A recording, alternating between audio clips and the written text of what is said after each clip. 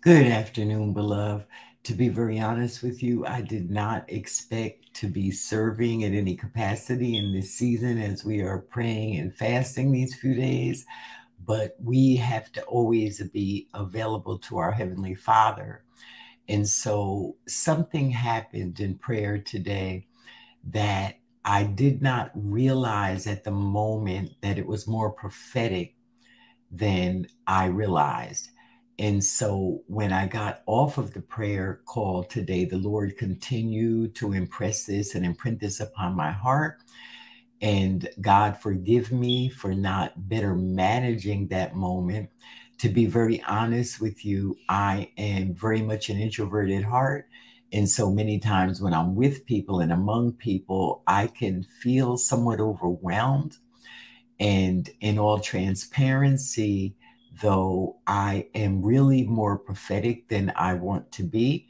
And I say it that way because I never wanted to produce prophecy chasers. I always wanted to make disciples, to win the lost, to equip believers for the work of ministry, but I never wanted to create prophecy chasers. And so, with that in mind, though, I must acknowledge that I cannot ignore the giftings and the graces that God has put upon my life because they are to serve and to glorify the Lord.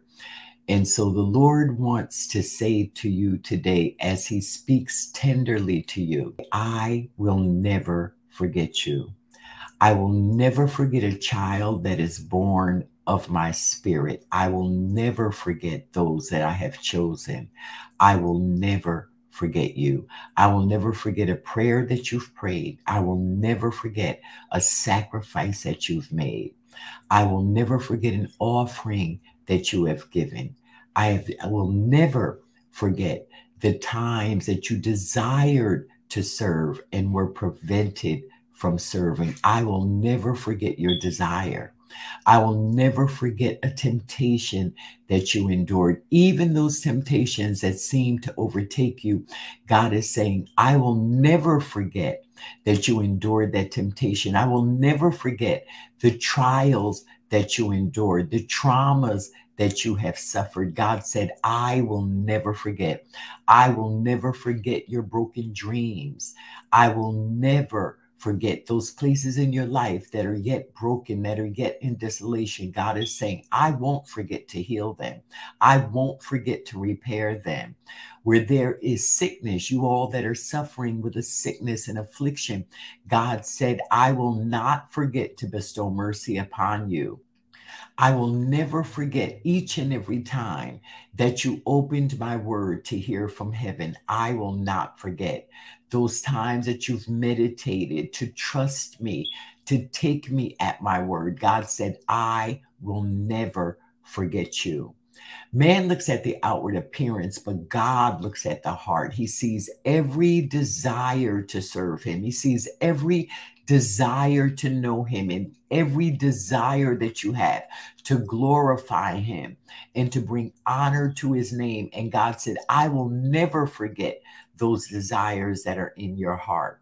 Many of you have tried to start a ministry or a business that has seemingly not worked out in this season, but God is saying, I will never forget to restore. I will never forget to restore the broken dreams. I will never forget to open prison doors where my children are yet being held captive. God is saying, I will never forget your warfare and the way that you have warred against the powers of darkness.